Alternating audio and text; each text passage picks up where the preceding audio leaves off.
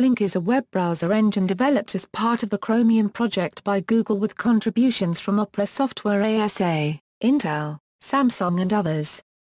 It was first announced in April 2013.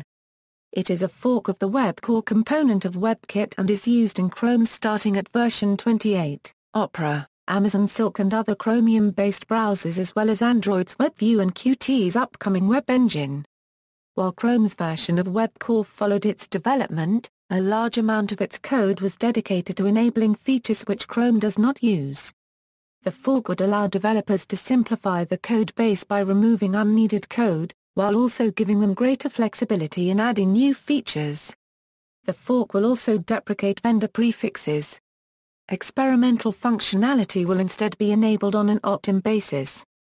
Aside from these planned changes, Blink currently remains relatively similar to WebCore. By commit count, Google has been the largest contributor to the WebKit codebase since late 2009.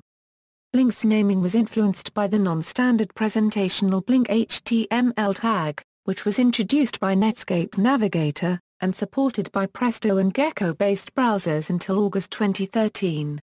See also V8, Dart, References External links, official website, www.chromestatus.com